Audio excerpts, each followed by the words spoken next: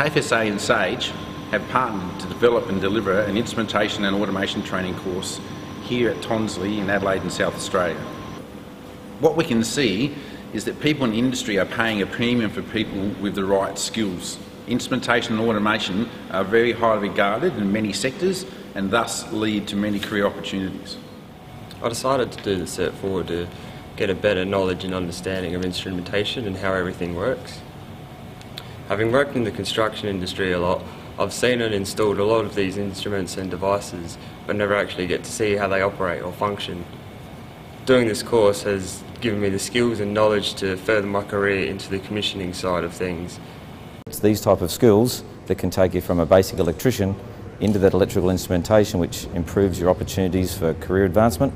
I've found this to be the most engaging course I've done throughout my electrical career.